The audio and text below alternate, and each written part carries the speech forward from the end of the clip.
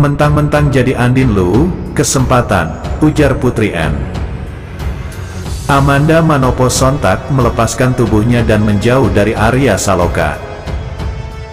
Namun bukannya berhenti menggoda, Amanda Manopo tak habis akal untuk mendekati Arya Saloka.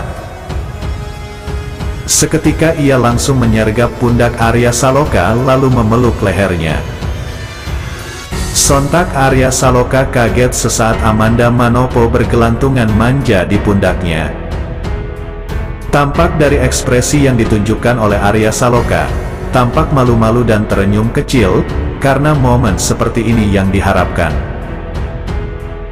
Sebelum ini, Arya Saloka diam-diam mengaku menyukai Amanda Manopo, karena kepribadian yang dianggap baik. Di depan Amanda Manopo, Arya Saloka akui kesemsem dengan sosok Amanda Manopo. Iya, sukanya, karena Amanda Manopo tuh sosok pekerja keras, baik, cantik banget, ucap Arya Saloka.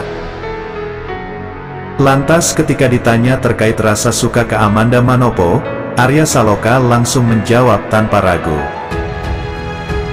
Dari angka 1 hingga 100 Arya Saloka menyebut tingkat rasa sukanya sudah berada pada taraf tinggi.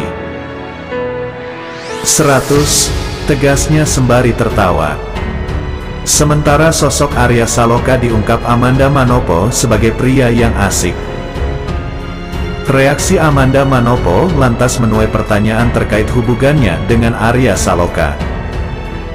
Amanda Manopo pun mengungkapkan hubungannya dengan Arya Saloka secara diam-diam sangat menyenangkan.